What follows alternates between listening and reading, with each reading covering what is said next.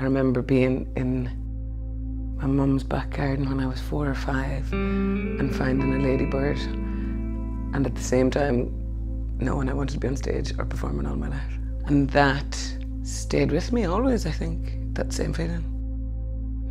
Like my dad was on stage all his life and lived for it. His dad was on stage all his life and lived for it. I don't believe that art has to have a mission or a purpose or a, another objective. It can be just to be enjoyed. Sometimes it's a bit tiring when a lot of art is like didactic or telling me how to live my life. What I really like is total absurd work, but there's such strong grains of truth in the absurdity that you might look at it and go, what? That makes no sense, or there's nothing for my brain to grab onto in this, then it takes you to another place. Most recent show that we've made, you could say has no clear narrative arc at the applause and after the bow. And we say, Did you enjoy the show?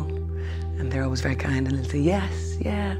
We'll say, Did it make any sense? And they'll say, No, without fail every time.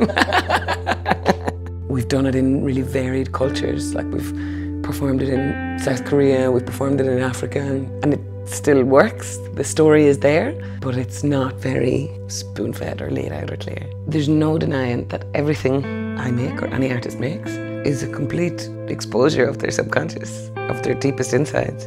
Oh, this idea again, God. If I don't do something about that, am I gonna like be on my deathbed going, I had a thing I wanted to write and I never did it. What would be more interesting for me is what is stopping me just flipping trying it.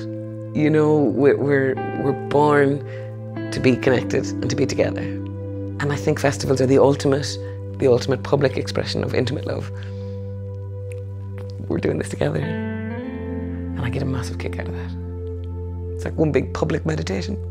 I remember thinking, mm, I wish there was something else I wanted to do on hard days, you know, when I had no money or, or no work or, or things are going slow. God, I wish I had any interest in doing anything else. but I don't really. I never did.